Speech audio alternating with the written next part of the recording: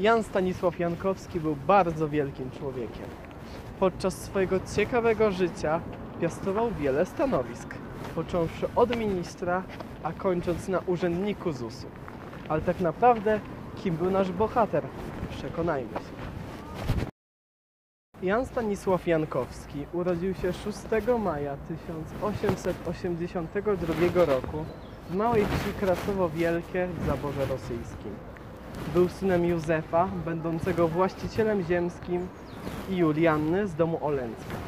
Swoją naukę w szkole rozpoczął w gimnazjum filologicznym Dunajskim.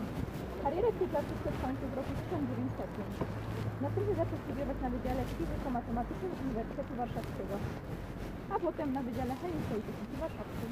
W 1906 roku wstąpił do Wyższej Szkoły Technicznej w Pradze, którą ukończył w 1908. W latach 1909-1913 był asystentem na Wydziale Chemii Rolnej Uniwersytetu Jagiellońskiego. Swoją karierę polityczną rozpoczął już podczas studiów, kiedy to wstąpił do Związku Młodzieży Polskiej Z oraz do Stronnictwa Narodowo-Demokratycznego. Dla przypomnienia, ta pierwsza była konspiracyjną organizacją polskiej młodzieży akademickiej, która działała we wszystkich rozbiorach. Ta druga zaś była legalnym ugrupowaniem politycznym o charakterze narodowym, na którego czele stał znany wobec Roman Dmowski. W latach 1901-1902 był zaangażowany w tworzenie Związku Młodzieży Robotniczej oraz Związku imienia Jana Kilińskiego. Będąc członkiem tej ostatniej organizacji, współorganizował w 1906 roku Narodowy Związek Robotniczy. W roku 1908 zasilił szeregi Ligi Narodowej. Był jednym z inicjatorów tzw. Frondy ND, czyli oderwania się Narodowego Związku Robotniczego i innych ugrupowań od endecji. Bojąc się o własną wolność, uciekł do Krakowa, gdzie wstąpił do Komisji Tymczasowej Skonfederowanych Stronnictw Niepodległościowych jako reprezentant NZR. Swoją służbę wojskową zaczął w szeregach pierwszej kompanii kadrowej Józefa Piłsudskiego, a następnie w 1915 roku wstąpił do pierwszego pułku ułanów Legionów Polskich. W tym samym roku wszedł do Centralnego Komitetu Narodowego z ramienia NZR.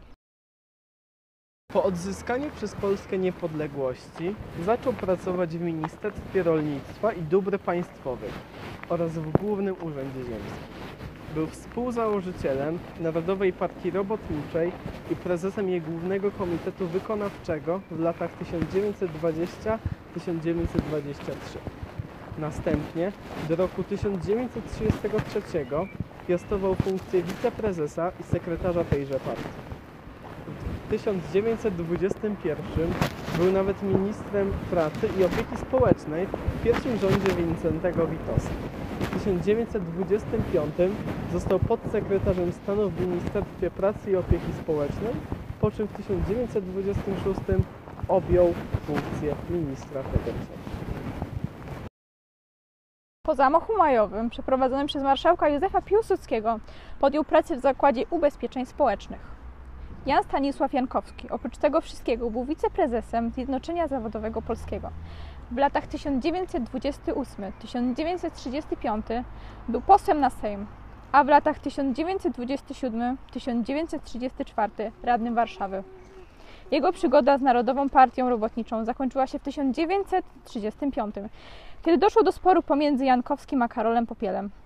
W 1937 stał się członkiem Stronnictwa Pracy. Jan Stanisław Jankowski podczas II wojny światowej przyjmował wiele pseudonimów, a w nich między innymi dr Jan Klonowski, Sobolewski, Sobul. Na początku działał w instytucjach opieki społecznej. W 1941 objął urząd dyrektora Departamentu Pracy i Opieki Społecznej delegatury rządu RP na kraj. Pod koniec 1942 został zastępcą delegata rządu RP na kraj, a następnie sam objął tę funkcję kwietniu 1943 po aresztowaniu Jana Piekałkiewicza. Od 1944 był wicepremierem kierującym Krajową Radą Ministrów. Zatwierdził on decyzję o rozpoczęciu powstania w Warszawie. Podczas rozmowy z Janem Nowakiem Jeziorańskim miał powiedzieć My tu nie mamy wyboru. Burza nie jest w Warszawie czymś odosobnionym. To jest ogniwo łańcucha, który zaczął się we wrześniu 1939 roku. Walki w mieście wybuchną, czy my tego chcemy, czy nie. Za dzień, dwa lub trzy Warszawa będzie na pierwszej linii frontu. Trudno sobie wyobrazić, że nasza młodzież, którą myśmy szkolili od lat, damy jej broń do ręki, będzie się biernie przyglądała albo da się Niemcom bez oporu wywieźć do Rzeszy. Jeżeli my nie damy sygnału do walki, ubiegną nas w tym komuniści. Ludzie wtedy oczywiście uwierzą, że chcieliśmy stać z bronią u nogi. W początku powstania naziści zaczęli wypędzać ludność cywilną z Warszawy i okolic. Miejscem, w którym gromadzono tych ludzi, był niemiecki nazistowski obóz koncentracyjny Dulag 121 Pruszków. Nasz bohater też musiał się niestety w nim znaleźć. Na szczęście pojawił się w tym strasznym miejscu z podrobionymi dokumentami. Dzięki temu udało mu się zwolnić ze względu na wiek. Wojna chyliła się ku końcowi. Ale czy nastał wieczny spokój dla naszego Janka? Nic bardziej mylnego. W marcu 1945 roku wraz z innymi przywódcami polskiego państwa podziemnego został aresztowany przez NKWD. Poleciał do Moskwy, gdzie osadzono go w więzieniu na Łubiance. Takim sposobem rozpoczął się tzw. proces 16. Prokuratura oskarżyła Jankowskiego, Leopolda Okulickiego, Stanisława Jasiukowicza, Adama Aleksandra Bienia i innych o to, że byli organizatorami i kierownikami polskiej organizacji podziemnej na tyłach Armii Czerwonej na terytorium zachodnich obwodów Białorusi i Ukrainy, na Litwie i w Polsce. I działając według instrukcji tzw. rządu emigracyjnego, kierowali robotą wywrotową przeciwko Armii Czerwonej i Związkowi Socjalistycznych Republik Radzieckich, dokonywaniem aktów terroru w stosunku do oficerów i żołnierzy Armii Czerwonej, organizowaniem zamachów dywersyjnych i napadów podziemnych oddziałów zbrojnych, prowadzeniem propagandy wrogiej wobec ZSRR i Armii Czerwonej. Moskiewski sąd skazał go na 8 lat pozbawienia wolności, pomimo tego, że był obywatelem innego państwa. Mimo to zachodnie cesarstwa nawet nie zaprotestowały przeciwko tak jawnemu pogwałceniu prawa międzynarodowego.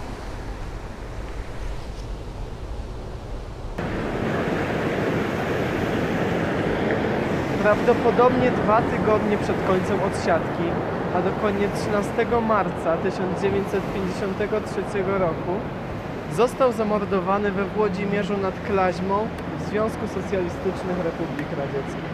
Spoczywa w zbiorowej mogile razem z między innymi Johannem Laidonerem, który był estońskim politykiem słynącym z walki o niepodległość swojego kraju. Symboliczny grób Jana Stanisława Jankowskiego znajduje się na cmentarzu wojskowym na Powązkach w Warszawie.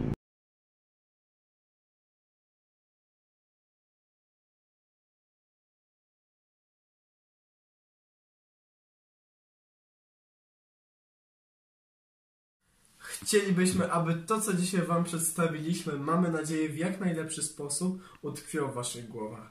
Każdy z nas powinien wiedzieć chociaż cokolwiek o osobach, które walczyły, a nawet ginęły, za wolność naszego kraju. To dzięki nim możemy dzisiaj nie martwić się o dobre jutro. Dzięki nim możemy również dzisiaj wykonywać projekt na temat posłów drugiej RP w ramach projektu Sejmu Dzieci i Młodzieży.